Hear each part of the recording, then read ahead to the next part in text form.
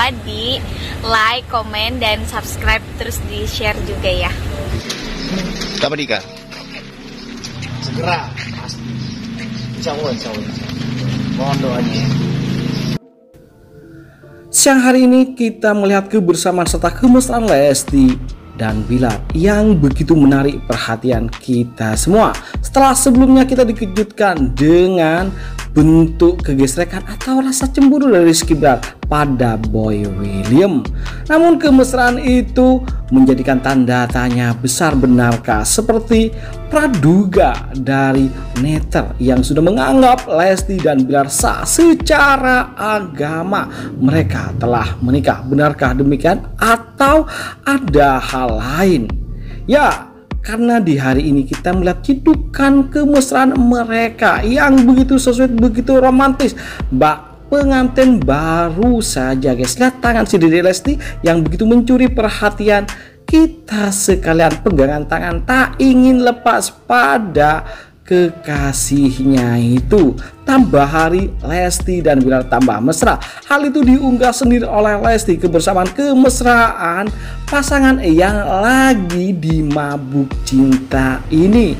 Ya sungguh membuat kita tersepona melihat kebersamaan kemesraan serta tingkah laku serta pola mereka yang sedari kemarin hingga tadi begitu membuat kita ini menjadi semakin baper semakin cute oleh kebucinan Lesti dan Bilar yang selalu menarik untuk diikuti kabar dan informasi terbarunya ya apalagi tangan si Dede Lesti yang gak mau lepas pegangan terus sama kekasih hatinya tersebut.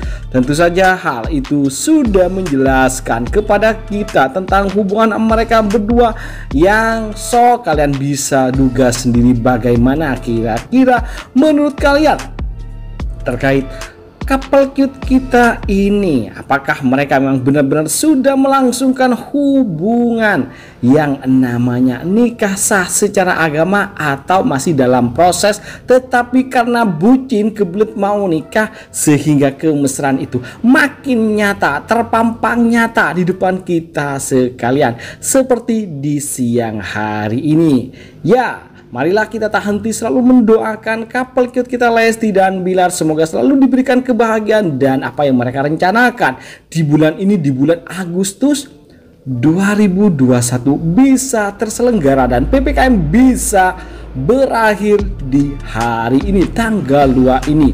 Hal itulah yang kita harapkan dengan berakhirnya pembelakuan PPKM, pembelakuan pembatasan bagi lingkungan masyarakat tentunya pernikahan Lesti dan Bilar bisa segera dilangsungkan. Siapa yang setuju dengan Mimin? Tentu kalian pada setuju mendoakan yang terbaik dan selalu mensupport mereka yang terbaik. Cinta yang tumbuh karena tak sengaja dipertemukan di Toso OMS tentu akan memberikan sesuatu kekiutan serta keindahan tersendiri bagi kisah cinta mereka yang bertemu tak sengaja tetapi akhirnya menumbuhkan benih-benih cinta yang akhirnya membuat mereka akan segera merasa cocok untuk segera dipersatukan dalam ikatan rumah tangga.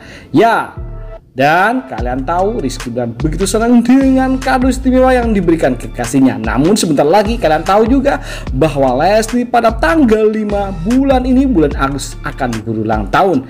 Kita tunggu surprise berikutnya dari Rizky Bilar mengenai ya terkait juga dengan yang namanya hari ulang tahun kekasihnya yakni Lesti Kejora. Kalian silakan kasih komentar kira-kira apa yang akan diberikan oleh Rizky Bilar kepada kekasihnya sedangkan dia sendiri sudah mendapatkan kado yang super istimewa yakni Moge yang harganya lebih dari setengah miliar. Jadi silakan kalian komentar di bawah.